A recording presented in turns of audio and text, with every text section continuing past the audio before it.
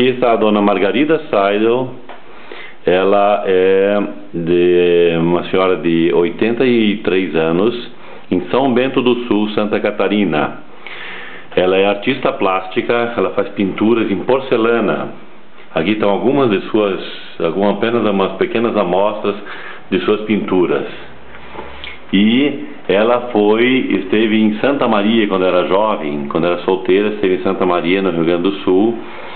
E, e mais tarde, quando o padre Josef Kentenich veio visitar a maternidade de Rio Negro, que era da, onde estavam as freiras que cuidavam da maternidade, que atendiam ali, que eram irmãs de, de Schoenstatt. Vamos ver como se a dona Margarida pode dizer umas palavras, ela tem uma deficiência auditiva, mas ela pode dizer algumas palavras, como foi esse maravilhoso encontro com o fundador do Schoenstatt. O que que tem? Diga! O quê? Padre Kentenich. Ah, o Padre Kentenich, eu Tá. gostei muito dele. Sim. Queria que ele ficasse santo, porque é uma, uma pessoa maravilhosa. Aí, a, a- como é que se diz, a imagem de, de Nossa Senhora do Ciência é muito, como é que se diz, muito divulgada aqui.